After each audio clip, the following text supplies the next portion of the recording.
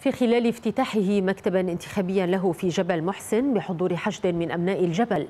أكد المرشح على لائحة العزم عن المقعد السني في طرابلس توفيق سلطان أن جبل محسن جزء لا يتجزأ من طرابلس ويسري عليه ما يسري على أهلها في السراء والضراء. البلد هيك. أنا بعرف تاريخ الجبل وبعرف تاريخ العلويين أكثر من أي إنسان تاني. نحن عائلة وحدة. نحن عائلة وحده إجت مرحلة سوداء على لبنان وعلى المنطقة. شوف انت اثارها شوف الدمار. هيدا كلياته عمل إسرائيل. إخوان نحن ما عنا طبقية ما عنا طائفية ما عنا مذهبية ما عنا عدو إلا إسرائيل. نحن وياكم. هيدا بقى